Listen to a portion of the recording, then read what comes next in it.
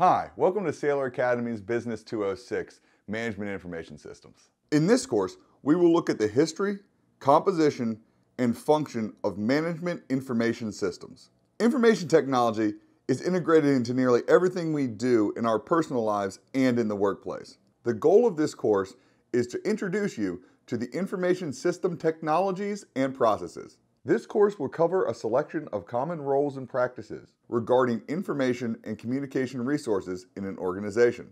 This video is designed to help you understand how the course is organized and to help you start to put together your own personal study plan.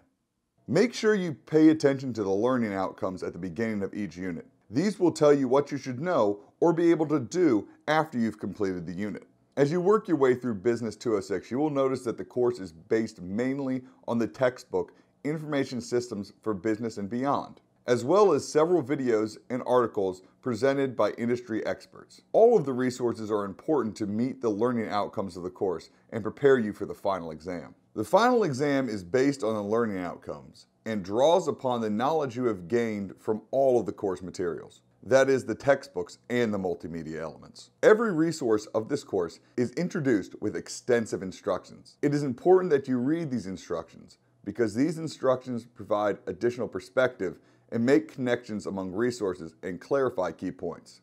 Taking notes is an important strategy for improving your retention of the concepts and theories of this course. As you read and watch each assignment of this course, you should pause to take notes and reflect on the ways that the course information builds upon each concept.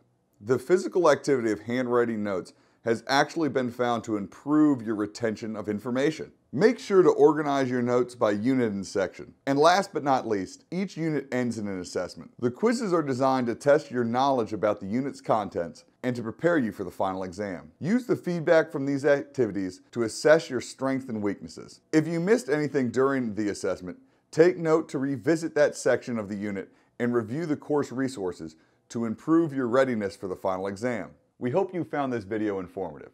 And if you're ready to start the course, you're in luck. You're already on the right page. But if you'd like a little look at what's to come in Unit 1, you can continue this video series right over here.